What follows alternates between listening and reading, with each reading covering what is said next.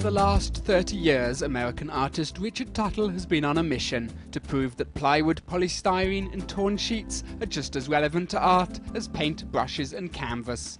And with his first major British retrospective in 10 years, time to coincide with a renewed interest from young artists in his featherlight works, he may well be going some way to winning his argument. His work materials, if that's what we're talking about, are very um, humble. Scraps of paper, paint, um, um, bits of hardboard, polystyrene, but they're, they're not uh, thrown away materials. The person who said that you know, these could be nothing or they could be something, it, um, probably very accurate, very perceptive. To many people, and certainly to any kindergarten teachers, the word childlike might spring to mind when looking at Richard Tuttle's work.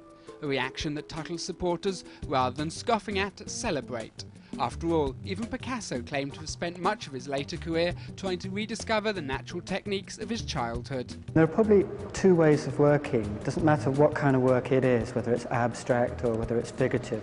One way of working is that you have an idea or, or, a desire, and you try to get as close to that desire as possible. The other way of working it is to start from B and to try and get as far away um, from your imagination or what you thought you were going to kind of make.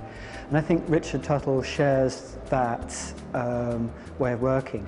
If he shares that way of working with very young children, it's because young children hadn't put the rules in at that early stage.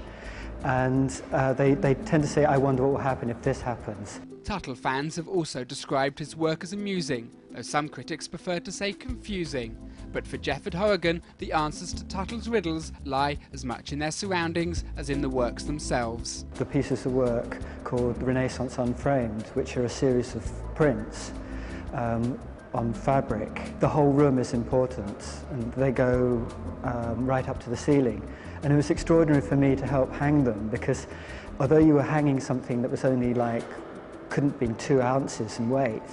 You actually had to have all this massive scaffolding in order to get this piece of work up. If Richard Tuttle's works invoke humour, it's hard to tell whether the joke is in the art or on those who view it. But if you want to find out for yourself, his exhibition will be touring nationally.